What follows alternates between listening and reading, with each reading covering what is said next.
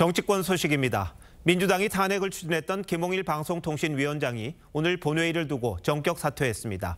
5, 6개월로 예상되는 방통위 업무 공백을 막기 위한 고육직책인 셈인데 방통위원장이 도대체 어떤 자리길래 민주당이 이동관, 김홍일 두 위원장을 연속으로 탄핵을 추진하고 정부는 사퇴로 맞서는지 궁금하실 겁니다.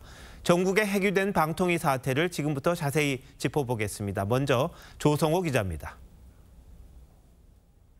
오후 2시로 예정된 본회의를 5시간쯤 앞두고 윤석열 대통령은 김홍일 방송통신위원장의 사의를 수용했습니다.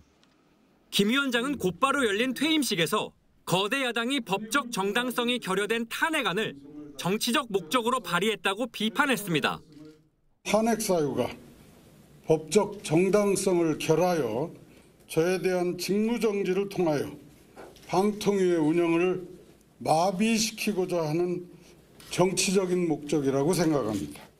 김 위원장은 시급한 현안 결정을 미룰 수 없어 불가피하게 2인 체제로 의사를 결정했다고 했습니다.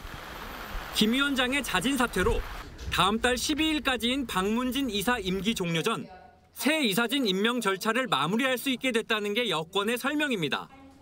윤 대통령은 면직안 재가 직후 주재한 국무회의에서 합리적인 대화와 타협이 사라지면 고통이 국민에게 돌아간다며 협치를 촉구했습니다.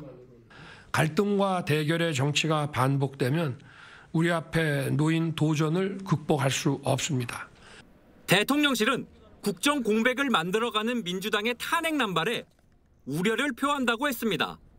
대통령실은 후임위원장으로 이진숙 전 대전 MBC 사장을 유력 검토 중인데 인사청문 절차가 20일에서 한 달 가까이 걸리는 점을 감안하면 이번 주 중으로 발표가 이뤄질 전망입니다. TV조선 조성호입니다.